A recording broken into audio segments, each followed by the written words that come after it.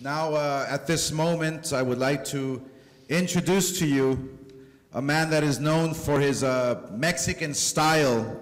Uh, Gennady Golovkin has demonstrated with 18 consecutive middleweight title defenses that he is the type of fighter that fans love with his aggressive, come forward approach to his opponents in the ring.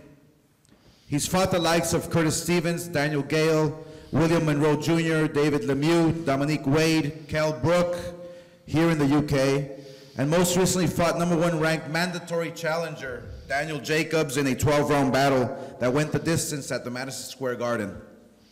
He was named the 2014 and 2015 Fighter of the Year by Yahoo Sports and is a current WBC, IBF, WBA, IBO middleweight world champion. But he will face his biggest challenge yet when he meets Canelo Alvarez in the ring on September 16 at the T-Mobile Arena. With that, I'll invite Gennady Triple G Golovkin up to make some remarks. Triple G. Thank you, Oscar. Good afternoon, everybody. I'm very happy to come back to London. You know, everybody knows I love it, London. I love it, people in London. Huge fan living in UK.